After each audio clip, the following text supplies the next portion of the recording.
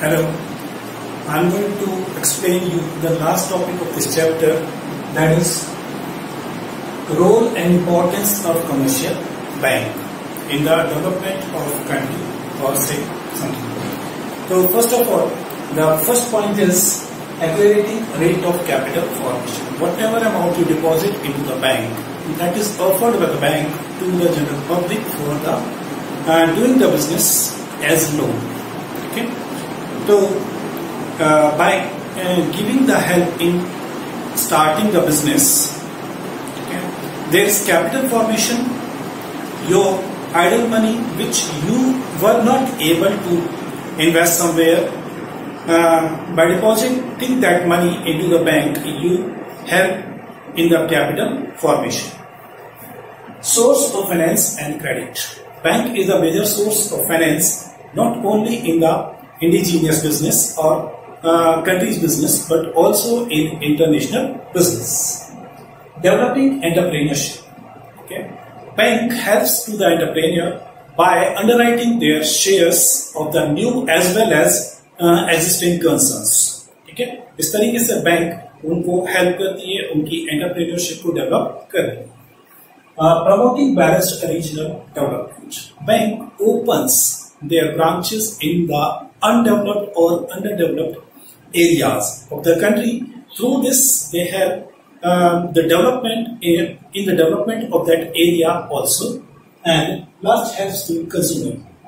Being consumer, आपकी income बहुत ही कम होती है and because of that uh, due to that small income you are unable to buy a um, durables of bulk amount big amount but bank helps you in purchasing that goods by granting you loan and in this way uh, bank helps the consumers also now what is the monetary policy or the credit control monetary policy क्या होती है या credit control क्या है monetary policy is the policy through which bank controls the flow of money और credit creation in the country okay there are two types of instrument what are the instrument of monetary policy uh, there are two types of instruments one is qualitative quantitative instrument and the other one is qualitative instrument quantitative instruments में सबसे पहले यहाँ पे लिखा हुआ है bank rate bank rate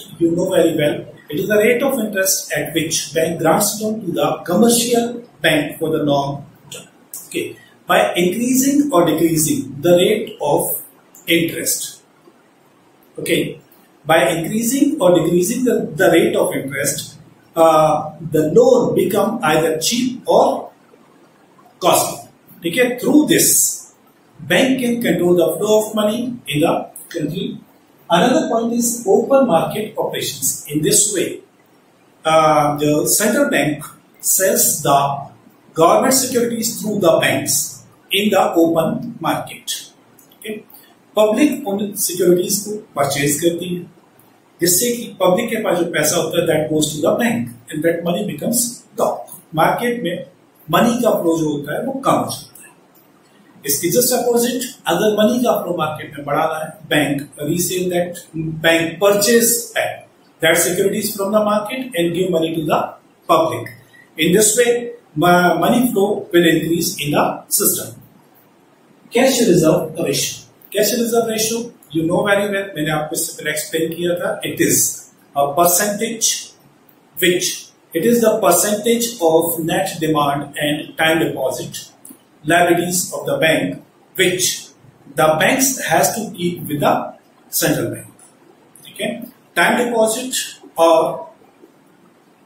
जो demand deposit होती है, उसकी जो लाइबिलिटी होती है बैंक की, उसका certain percent that is decided by the central bank that has to be kept by the commercial bank with the central bank right तो अगर ये परसेंटेज बढ़ा दिया जाता है तो bank has banks are bound to keep more money with the central bank as deposit. Therefore, they have the less money in their hands to distribute as loan. Through this, flow of money is controlled, restricted in the market.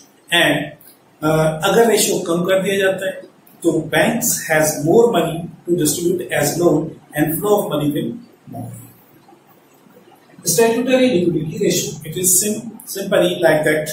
CRR statutory liquidity limit में ये होता है कि bank के अपने जो demand deposit होते हैं टाइम डिपॉजिट होते हैं, उसके एक सर्टेन परसेंट बैंक को अपने पास सिक्योरिटीज और कैश के रूप में मेंटेन करना होता है एज रिज़र्व ठीक है money can not be distributed और can not be offered as loan to the public ठीक है by increasing or decreasing this ratio, again, the bank can control or central bank can control the flow of money in the Now we are coming to qualitative instrument. Margin requirement. Margin requirement इससे पहले मैंने आपको explain नहीं किया था. Here, margin, it is the difference between the loan amount and the value of security offered by the borrower to the bank. Whenever you take loan from the bank, you have to put certain securities in the bank right? Bank gives you loan only a part of the value of the security, not the whole value of the security. Okay? The differential amount, let's say suppose करें, you take a loan of rupees 1 lakh, you want to take a, a loan of rupees 1 lakh, then you have to give the security of what rupees 1 lakh 20,000 or 1 lakh 10,000, right? So value of security is 1 lakh 20,000 and you are given a loan of rupees 1 lakh. The differential amount is 20,000 that is your own contribution. तो margin requirement में होता है कि margin requirement बढ़ा के या कम करके भी मनी के फ्लो को कम किया जा सकता है या क्रेडिट क्रिएशन को कम किया जा सकता है। जैसे अगर हम मार्जिन रिक्वायरमेंट बढ़ा देते हैं it means your contribution will be more than होगा ये कि आपकी लोन रिक्वायरमेंट जो है वो कम हो जाएगी या लोन की डिमांड कम हो जाएगी because of you have to invest out of your pocket more money that is in general it is it will be difficult for the public rationing of the credit in this way bank controls or bank uh, limits the amount to be given as loan in the different sectors rationing curve rationing का मतलब होता है Kota fix कर दिया जाता है कि you can't give more than this amount of the loan to this sector okay in this way control can be done flow of money और credit direct action direct action में बैंक जो central bank होती है वो uh, को directly bank के ऊपर directly action ले सकती है if they are not not complying the rules and regulations और orders of the central bank moral suasion, it uh, जो सेंट्रल बैंक होती है फोर्सली कमर्शियल बैंक्स को उसके नॉर्म्स को फॉलो करने के लिए या उसके ऑर्डर्स को फॉलो करने के लिए मजबूर करती है और फोर्स करती है।